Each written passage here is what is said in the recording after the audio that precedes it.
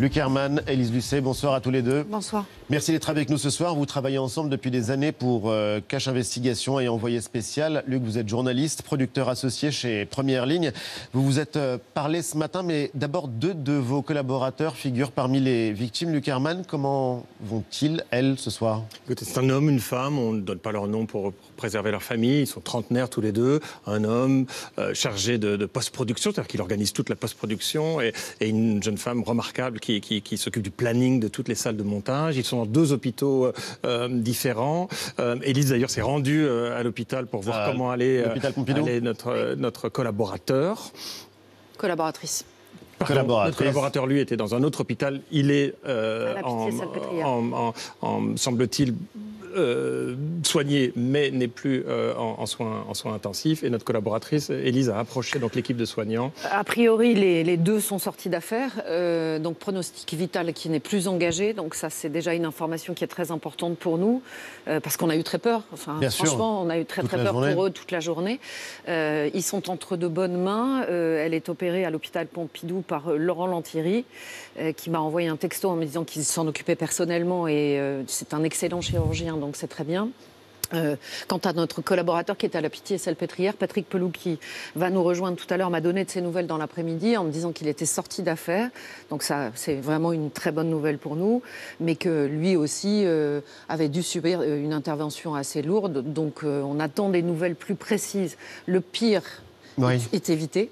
Le pire est évité, même s'ils sont grièvement blessés. confirmation, ils sont en salle de réveil pour les deux et toujours euh, vraiment sous un monitoring très précis dans ces deux hôpitaux. Vous avez pu leur parler ou pas encore non, pas du tout. Non, On a parlé aux familles, euh, bien sûr, à leurs familles, à leurs proches. Et Vous étiez sur place euh, au moment de l'attaque ce matin. Que s'est-il passé? Environ 11 heures. J'étais au deuxième étage de l'immeuble, d'ailleurs là où étaient les anciens locaux de Charlie Hebdo. Je me permets de vraiment profiter à nouveau de votre antenne pour expliquer à tout le monde que Charlie Hebdo n'est évidemment plus dans cet immeuble. Après l'attentat de 2015, ils ont évidemment déménagé. Donc il était 11 heures, j'ai entendu des cris extrêmement forts. Il semblerait que c'était les cris de notre collaborateur qui était poursuivi par l'assaillant. Alors les témoignages directs qui, euh, font vraiment, qui, m'ont vraiment glacé euh, en, tout début d'après-midi, c'est lorsque, euh, avec les enquêteurs, les, les forces de l'ordre qui sont arrivées très vite, on a donc compris ce qui s'est passé. Euh, nos collaborateurs, notre collaboratrice était descendue euh, d'une façon la plus banale possible pour fumer, une, cigarette, une, pause, une, pause, cigarette. Et ils étaient dans un tout petit renfoncement de, l'entrée de l'immeuble qu'on voit sur les images que, que, que, vous diffusez actuellement. Et donc, ils ont été surpris. Une attaque vraiment par surprise et d'une violence inouïe. C'est-à-dire que le même assaillant, un unique assaillant, a d'abord frappé notre collaboratrice au visage, puis ensuite il s'est attaqué à notre collaborateur, il l'a frappé au cou avec une force inouïe, donc avec une volonté. Avec cette arme qui, semble-t-il, a été retrouvée, qu'on a, vu sur des images qui ont été diffusées par la police par la suite. Il s'agit d'un hachoir. Alors, je suis pas spécialiste d'une lame, de boucher. Ça s'appelle une lame de boucher. Et, ensuite, il est retourné votre collaboratrice pour ensuite poursuivre notre collaborateur avant de, avant de, avant de prendre la fuite. On ne sait pas s'il a parlé, on ne sait pas s'il a prononcé des euh, mots. Tous les témoins disent que ça s'est fait dans un immense silence, à part les cris de nos collaborateurs. Euh, qui, qui euh, évidemment euh, criait de douleur et de peur, enfin, je pense, mais qu'il n'y a eu aucune revendication orale, il n'y a eu aucun cri de la part de l'assaillant, en tout cas, parce que c'est la première chose qu'on a demandé tout de suite pour savoir si effectivement des mots avaient été prononcés. Pas du tout. Justement, on va venir avec Antoine sur ce qui s'est passé aujourd'hui, mais quand vous êtes parlé ce matin, tous les deux, au téléphone, Elise, vous étiez à France Télé, en l'occurrence, vous êtes parlé très très rapidement, mais vous pensiez immédiatement à 2015, vous avez spontanément pensé Charlie, pensé attentat de janvier 2015 Il y a l'effroi, enfin il y a un effroi pas possible parce qu'on sait que nos collaborateurs sont victimes de, de, de cet euh, assaillant. Euh, comme on est journaliste, on se pose immédiatement des questions. Et comme on est journaliste, euh, on, reste très prudent. Et on ne dit pas qu'il s'agit euh, d'une attaque islamiste, parce qu'on ne le sait pas. Ça peut être aussi un, total déséquilibré qui est dans la rue, avec une lame de boucher, qui peut attaquer des gens dans une rue. Il se trouve que cette rue n'est pas n'importe laquelle. Il se trouve que cet immeuble n'est pas n'importe lequel. Et on va y revenir justement, évidemment, sur ce symbole-là. Voilà, et sur cet immeuble, il y a la fresque de toutes les victimes de l'attentat de Charlie Hebdo. Donc il y, a il y, a une plaque qui leur rend hommage. Donc euh, si vous voulez, bien sûr qu'on s'est posé la question. En tant que journaliste, on est aussi resté très prudent pendant plusieurs heures parce que ça fait partie de notre métier que d'être extrêmement prudent. Mais c'est sûr que cet immeuble est devenu une cible. Et Ali, pour vous répondre vraiment très concrètement, notre équipe, avec énormément de sang-froid, une grande partie de nos collaborateurs étaient présents le 7 janvier 2015 pendant l'attaque. Ils étaient déjà là Oui, une très grande partie. On Vous étiez déjà au deuxième étage de cet immeuble. Et vous aviez filmé dans cet immeuble quelques temps avant Charlie Hebdo. À et 7 mètres des bureaux de Charlie Hebdo. Et l'un des journalistes de notre équipe a effectivement filmé les premières images qui ont fait le tour du monde des, frères Kouachi qui quittent l'immeuble. Donc nous-mêmes, nous sommes que, que, l'on voit là. Et donc nous-mêmes, ce matin, c'est euh, incroyable de revoir ces, ces, images de 2015, on s'est réfugiés sur le toit. Euh, ce matin en, ayant euh, éventuellement à l'esprit que peut-être il y avait une attaque contre l'immeuble. Et on va euh, évidemment respecter la prudence qui s'impose et le travail des enquêteurs. Mais d'abord, Antoine, tu nous refais le film de cette journée? Oui, vous en avez déjà un peu parlé. Il est peu avant midi, hein, quand euh, ces deux salariés de première ligne font une pause. Euh, midi moins le quart, quand ils quittent leur bureau euh, pour descendre au pied de l'immeuble, fumer une cigarette donc dans la rue, la rue Nicolas Appert, dans le 11e arrondissement de Paris. Un homme se dirige alors vers eux, il les attaque, il les blesse, il les poursuit et il les blesse grièvement avec une arme blanche, une feuille de boucher. Des voisins entendent des cris, ils appellent la police. Il est alors aux, alentours de midi moins 5. Un signalement est aussi diffusé. Policiers et pompiers partent dans la foulée et arrivent rapidement sur place pour prendre en charge les deux blessés. On a parlé de trois puis de quatre victimes dans un premier temps, avant que le bilan ne soit rapidement corrigé et ne revienne à deux blessés. Arrivés aussi sur les lieux de l'attaque, des membres de la BRI et de la police scientifique. Les premières informations commencent alors à être diffusées dans les médias, une grosse demi-heure après l'attaque. Il est juste après midi 20 quand BFM TV interrompt sa page de publicité, casse son antenne pour donner la nouvelle. Priorité au direct, vous venez de le voir. Les trois autres chaînes info vont-elles attendre quelques minutes pour la donner à leur tour? Il est alors près de midi et demi. Dans le même temps, une cellule de crise est ouverte au ministère de l'Intérieur. Gérald Darmanin interrompt son déplacement pour rentrer place. Visite interrompue aussi pour le Premier ministre Jean Castex qui était à Pantin pour présenter de nouvelles mesures d'aide en Seine-Saint-Denis. grave vient de se produire à Paris. Une attaque par arme blanche a été perpétrée euh, dans euh, le 11e arrondissement devant l'ancien siège de Charlie Hebdo, faisant euh, quatre blessés, dont semble-t-il deux dans un état grave. Et euh, dans ces conditions, euh, je suis obligé euh, de me rendre au centre de crise à Beauvau pour m'assurer de la réalité de la situation et de son évolution. Je vous remercie beaucoup. Je reviendrai, bien entendu, mesdames et messieurs, en Seine-Saint-Denis. Jean Castex rentre à Paris, direction ministère de l'Intérieur, vous l'avez compris, parmi les premières décisions prises dans l'urgence, il y a la fermeture des établissements scolaires dans le 11e arrondissement et dans deux arrondissements limitrophes, le 3e et le 4e. Moi, ce que j'ai fait euh, en, coordination avec Anne Hidalgo dès le déclenchement de cette crise, ça a été de demander aux écoles, euh, aux crèches et aux résidences seniors de se barricader euh, commerce aussi et aux, euh, entreprises dont on a les, contacts dans le quartier pour éviter que euh, des personnes puissent se sauver et, ou se réfugier dans des, dans des locaux. 125 écoles, 125 établissements ont été fermés avec des milliers d'élèves et leurs enseignants à l'intérieur. Une mesure levée assez rapidement au début d'après-midi parce qu'entre-temps, l'enquête a très vite avancé. Deux hommes ont été rapidement arrêtés, l'un près de la place de la Bastille, l'autre sur la place à côté de l'Opéra. Vous voyez les images, tous les deux placés en garde à vue. Il est 15 heures, le procureur antiterroriste donne des précisions. S'agissant de l'enquête proprement dite, l'auteur principal a été arrêté, est actuellement en garde à vue. Un deuxième individu est également placé en garde à vue afin de procéder à un certain nombre de vérifications euh, s'agissant de ses relations avec l'auteur principal dont je viens de parler. L'auteur principal qui a reconnu les faits lors de son interpellation, selon plusieurs médias. Son domicile dans le Val d'Oise a par ailleurs été perquisitionné. À la manœuvre, là, le parquet national antiterroriste qui s'est saisi de l'affaire pour tentative d'assassinat en relation avec une entreprise terroriste et association de malfaiteurs terroristes criminels. Revenons sur les lieux de l'attaque. Jean Castex et Gérald Darmanin sont venus. Ils sont arrivés vers 14h30. À leur côté, vous le voyez à gauche de l'image, la maire de Paris, Anne Hidalgo un air de déjà-vu pour elle. Elle était là le 7 janvier 2015, peu après l'attentat commis, vous le disiez, au même endroit et à peu près à la même heure. Luc, vous avez parlé avec le Premier ministre Jean Castex, avec Gérald Darmanin. Qu'est-ce que vous leur avez dit et que vous ont-ils apporté comme information? Ils sont effectivement venus sur les lieux assez rapidement. La maire de Paris était là également, c'est ce qu'on voit sur vos images. Écoutez, ils nous ont, nous ont écoutés. Ils sont venus d'abord prendre des nouvelles de, de, notre équipe, nous ont rassurés sur les informations qu'ils avaient sur nos deux collaborateurs euh, hospitalisés. Et nous, on les a interpellés. Voilà. On leur a posé une question qui est une question majeure et toute simple. Le procès de Charlie Hebdo a démarré il y a quelques semaines cet immeuble, cette rue n'était absolument pas sécurisée. Absolument pas. eu aucun contact, ni moi en tant que chef d'entreprise, je dirige cette entreprise avec Paul Morera, ni les autres entrepreneurs dans cet immeuble n'ont été euh, contactés au moment de la préparation du procès, ni de son, euh, du, du, du, choix du démarrage de ce procès. Et depuis plusieurs semaines, on le sait, il y a eu des vous Est-ce que vous aviez demandé euh, que la sécurité soit assurée, du moins Honnêtement, non. On en a même parlé plusieurs fois, Élise. On a encore déjeuné ensemble la semaine dernière. on n'a pas demandé de protection particulière nous n'avons jamais été menacés. Et je doute à nouveau que notre équipe était directement menacée ce matin. C'est malgré tout un immeuble symbolique sur lequel Élise le rappelait. Il y a une plaque à la mémoire de, ces nombreuses victimes du, 7 janvier 2015.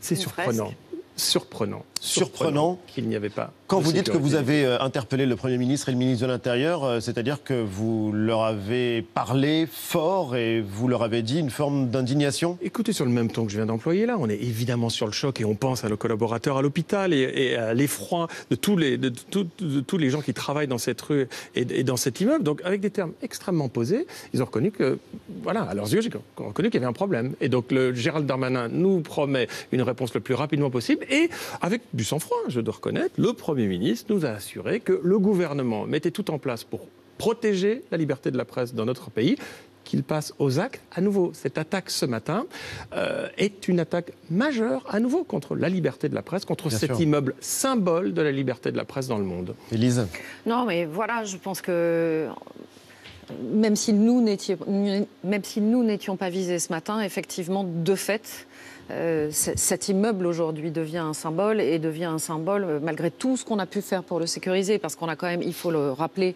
euh, des codes et des cartes pour entrer à l'intérieur. Depuis les attentats d'il y a un peu plus de cinq ans, des mesures de sécurité ont été prises. mais je, je, pense franchement que là, cette réalité nous saute au visage aujourd'hui, que quoi qu'il arrive maintenant, cet, immeuble-là sera toujours un symbole. Moi, je voudrais juste dire un mot par rapport à tous nos collaborateurs qui ont déjà vécu, euh, pour la plupart d'entre eux, les attentats il y a cinq ans, euh, qui sont à nouveau euh, dans un traumatisme profonds aujourd'hui qui vivent ça. Euh, on leur apporte évidemment tout notre soutien et dire euh, à quel point on, sent euh, que ce, traumatisme est lourd et difficile à supporter pour eux.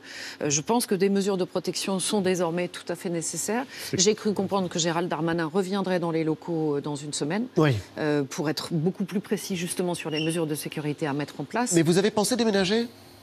L'idée vous a traversé la tête? Évidemment, après le premier attentat. on a d'ailleurs pris des locaux juste en face euh, pour permettre à une partie des collaborateurs qui étaient vraiment encore très, très, très, sous le choc. La question se pose évidemment à nouveau. On a fait un choix en en parlant avec chaque collaborateur et pas dans des réunions. On a, d'abord un soutien psychologique que nous avons à nouveau mis en place. Et le deuxième, après Elise, la deuxième personne que j'ai appelée, c'est le, le, psychologue qui nous avait beaucoup, beaucoup aidé, qui avait aidé beaucoup de nos collaborateurs il y a cinq ans et demi. Donc on va mettre tout cela en place et puis on en parlera avec chacun des collaborateurs les yeux dans les yeux, pas dans des grandes réunions. On va écouter tout le monde et on va laisser à tout le monde le, loisir de, se reconstruire après à nouveau une attaque inacceptable. Patrick Non, sur cette euh, protection, c'est une question euh, très compliquée mm. et très délicate parce que les cibles sont innombrables, parce qu'on peut trouver des symboles partout. Euh, bientôt, une exposition hommage à Cabu va ouvrir pour la ville de Paris. Cabu était, euh, fait partie euh, des victimes emblématiques de Charlie Hebdo. On peut, on peut imaginer toutes les cibles possibles et trouver tous les symboles. Il est probable, possible, on le saura peut-être que euh, le garçon qui a commis cet acte vraisemblablement terroriste est on passé, en parler dans un instant justement. Est passé avant dans la rue pour vérifier s'il y avait une protection, s'il y avait des policiers, peut-être, et sans doute aurait-il choisi un autre endroit symbolique qui n'était pas protégé pour commettre son attentat. Enfin, vous voyez, c'est, on est, on est, dans, on est entré dans quelque chose qui est très très compliqué. Euh, et justement, justement, parce que d'après le procureur, le principal attaquant ne connaissait pas les victimes. Antoine, qu'est-ce qu'on sait de lui? Qu'est-ce qu'on sait aussi de l'autre homme qui a été euh, arrêté dans la journée et placé en garde à vue Alors les éléments non seulement sont rares, mais en plus ils arrivent au, compte-gouttes. Certains sont en cours de vérification par les enquêteurs. L'auteur principal donc dit être originaire du Pakistan. Il serait très jeune, 17-18 ans. La date de naissance qui a été, euh, l'année de naissance qui a été donnée est 2002. Il semble être en situation régulière en France et il serait connu déjà des services de police pour une infraction au moins commise cette année, port d'armes prohibées, une information donnée notamment par LCI. C'est lui qui a été arrêté, hein, celui qu'on a vu sur les images tout à l'heure, voilà, au pied de cet euh, escalier de l'Opéra Bastille en tout début d'après-midi. Il correspondait à l'un des signalements recueillis juste après l'attaque, chaussures rouges, doudoune sans manches, et il semble qu'il avait des traces de sang sur lui. Le second suspect, lui, a été interpellé dans le métro peu après 13h30. Très peu d'informations sur lui. On sait simplement qu'il a une trentaine d'années, 32, 33 ans. Euh, il est encore en garde à vue, comme euh, le premier suspect. Les enquêteurs cherchent maintenant à savoir s'ils sont liés et si oui, comment. Vous êtes tous les deux journalistes, vous connaissez très bien la difficulté de parler de ces sujets, d'aller plus vite que la musique, d'aller plus vite que le travail des, enquêteurs. Comment faire pour euh, ne pas céder à la précipitation? Ah non, je pense que dans ce genre de situation, justement, il faut ralentir. Euh, c'est impératif. Euh, voilà, nous, moi, il se trouve que j'ai été euh, en relation avec tout le pool de France Télévisions ce matin, justement avant d'aller à l'antenne pour le 13h et ensuite à France Info. Et, et, surtout, dans ces cas-là, il faut éviter toute affirmation non vérifiée. Et il faut, alors pour le coup, croiser, recroiser, archi-croiser. Enfin, c'est dans ces moments-là qu'il faut ralentir, justement. C'est dans ces moments-là qu'il faut être d'une prudence extrême et qu'il faut absolument prendre son temps de journaliste pour, euh, euh, obtenir la crédibilité que nous demandent les téléspectateurs. On ne peut pas faire la course à l'échalote et à l'info dans ce genre de circonstances. C'est impossible. Ralentir, euh, c'est aussi ce qu'ont dû faire des parents, des enseignants aujourd'hui. Antoine, tu en parlais, c'est la procédure dans ce type de situation. Des milliers d'élèves dans les écoles du 11e arrondissement, du 3e, du 4e ont été confinés jusqu'à 15 heures. Et nos reporters, Tancred, Bonora et Stéphane Chatour, ont été les rencontrer justement, les rencontrer avec des enseignants, des parents qui étaient là pour pour accompagner les élèves Non, personne n'est rentré, personne n'est blessé. Ici, c'est bon. Merci beaucoup. On. Non, non. Est en confinement, monsieur. Personne ne rentre. Vous avez été chercher votre fille euh, avant la, la sortie, c'est ça? Oui, oui, c'est ça. Ouais. Oui. Est-ce que vous aviez peur? Ah oui, bah oui, parce que c'est juste à côté, donc euh, c'est normal. Oui, J'ai mes deux enfants qui sont là, donc euh, voilà. Pas très loin, d'accord? Là où il y avait Charlie Hebdo. Donc c'est un homme qui a attaqué avec un couteau, mais les deux personnes s'en sont sorties et ils ont arrêté les suspects. Avec la police. On vous a dit pourquoi vous étiez obligé de rester dans le préau? Il y avait des gens qui attaquaient, euh, qui avaient attaqué d'autres gens, donc ils trouvaient que c'était dangereux. Vous te sentez protégé dans l'école? Bah oui. Bien sûr. Vous imaginiez que ça pouvait se reproduire exactement au même endroit, cinq ans après? Ah ben oui, bien sûr. C'est assez évident, non? Avec le procès, oui, c'est évident. C'est évident. Bah écoutez, franchement, euh, quand on met toutes les informations bout à bout, même si on garde notre prudence journalistique, on se dit que ça fait beaucoup d'éléments quand même. un jeune homme euh, pakistanais d'origine qui vient attaquer des gens dans la rue, rue Nicolas Appert, au 6, pas au 10, mais au 6, c'est-à-dire exactement à 12 mètres de là où, où, se sont produits les attentats de Charlie Hebdo. Euh, il y a des coïncidences qui sont extrêmement troublantes et nous qui nous rappellent des choses affreuses. Donc oui, oui. après, je dis, journalistiquement, il faut tout. Non, mais c'est le raisonnement qu'a tenu le le, parquet national antiterroriste pour euh, se saisir de, cette enquête, la coïncidence des dates, euh, des lieux et, les de l'horaire. Et on va en parler évidemment avec Patrick Coulot qui va nous, euh, qui va nous rejoindre en direct. Charlie Hebdo justement qui a immédiatement apporté son soutien en tweetant son soutien et sa solidarité à ses anciens voisins et mm. confrères de première ligne et aux personnes touchées par ces odieuses attaques. Euh, c'était vos voisins, ça reste euh, malgré tout euh, le symbole de la liberté d'expression. C'est difficile de voir que ce combat n'est toujours pas gagné et qu'avec ce qui s'est passé aujourd'hui à Paris, on a le sentiment qu'il va falloir de nouveau rappeler des évidences. On en parlera avec Pierre, euh, tout à l'heure, la question de la liberté d'expression, elle s'est manifestée cette semaine, encore une fois, avec de très nombreux médias, eh oui, et puis, euh, Et puis, puis, vous voyez aussi euh, la DRH de Charlie Hebdo qui a dû être mise à l'abri parce qu'à nouveau menacée, avec des menaces extrêmement précises. et donc, là, quand, on, sent effectivement ce climat qui à nouveau se remet en place, on se dit que non, ce combat sur la liberté d'expression et, et, sur le journalisme en soi n'est jamais gagné et qu'il faudra toujours se battre pour. mais ça, je pense que ici, autour de cette table, on en est tous conscients et, qu'on sait que c'est un enjeu extrêmement fort. Oui, même si parfois on oublie, on a le sentiment que les choses peuvent s'apaiser, que cette menace peut disparaître. Vigilant de tous les instants, on est tous journalistes autour de cette table et on le sait, quelquefois, les journalistes ont de mauvaise presse. On le sait qu'il y a une défiance, quelquefois, à l'égard des journalistes. C'est le temps long qui va marcher. C'est ce que nous faisons avec Élise dans Envoyé spécial. C'est ce que nous faisons dans Cachet d'investigation. C'est ce que vous faites ici aussi. On a donné très peu d'interviews avec, avec, avec, avec notre équipe cet après-midi. On s'est beaucoup interrogé.